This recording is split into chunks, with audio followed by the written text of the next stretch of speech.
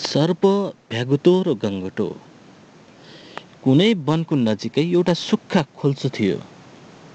धेरै अघिदेखि त्यहाँ भ्यागुतो सर्प र गङ्गटो बस्दै आएका थिए। उनीहरू बस्ने दुलो छुट्टा छुट्टै थियो।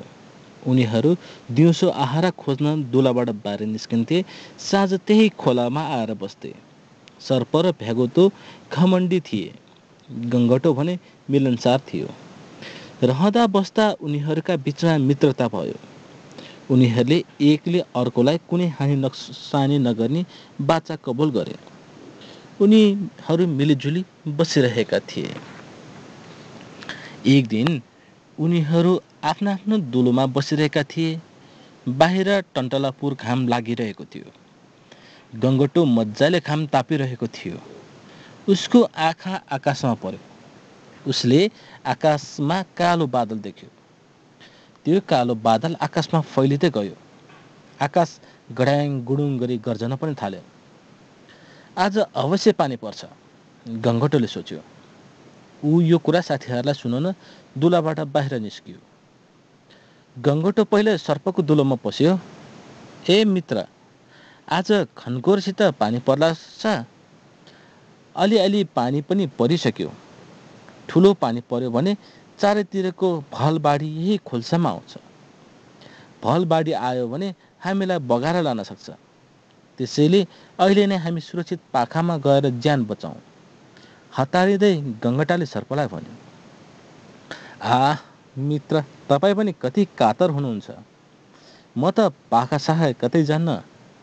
आफ्नो त सय बुद्धि छ। जिउ लामो पनि छ।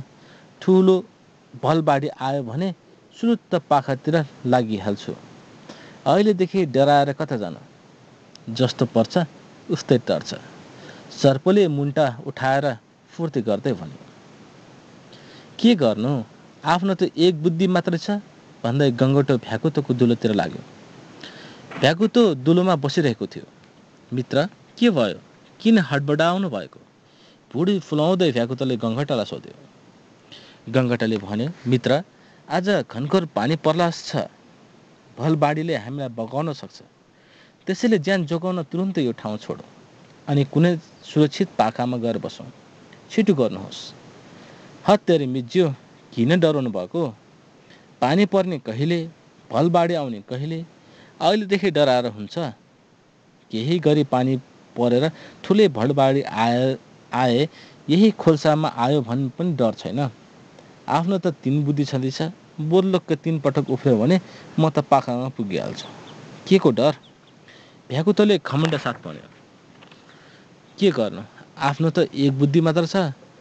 म त पाखातिर लागेँ है भन्दै गङ्गटो पाखातिर लाग्यो। ऊ पाखामा पुगी सुरक्षित दुलो खोज्न बस्यो। साँझ पख घनघोर पानी पर्यो। नभन्दै खोल्सामा ठुलो भलबाडी आयो। गङ्गटाले साथीहरूलाई सम्झेर रात काट्यो। भोलिपल्ट बिहानै गङ्गटो आफ्नो पहिलाकै ठाउँमा आयो। भलबाडी सुकिसकेको थियो। तर उसले त्यहाँ आफ्ना साथीहरूलाई देखेन। लौ मेरा साथीहरूलाई के भयो होला? ती बाँचेका छन् कि मरिसके गङ्गटो सोच मग्न भयो। ऊ साथीहरू खोज्दै खोल्साको उधो उग्दोतिर लाग्यो। तर धेरै तल गङ्गटाले एउटा झाडमा सर्प अल्झेको देख्यो। उसले आफ्नो साथीलाई चिन्यो तर सर्प झाङमा लमतन्न परेर मरिसकेको थियो।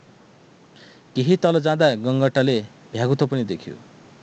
भ्यागुतो पनि उत्तानो टाङ पारेर मरिसकेको थियो। गङ्गटालाई साह्रै दुःख लाग्यो। हिजो मैले भनेको मानेका भए यस्तो दुर्दशा हुने थिएन। बेलैमा पाखामा गएका भए हामी सबै बाँच्थ्यौँ। तर के गर्नु? उनीहरूले मेरो कुरै सुनेनन्। उनीहरूकै खमण्डले उनीहरूको नाश भयो। गङ्गटालाई विरक्त लाग्यो। ऊ छेउको दिलमा बसेर बिरही गीत गाउन थाल्यो। सय बुद्धि छाङमा चाङ तिन बुद्धि उत्तानो ताङ एक बुद्धि पाख नाग अब म कतातिर जाउँ।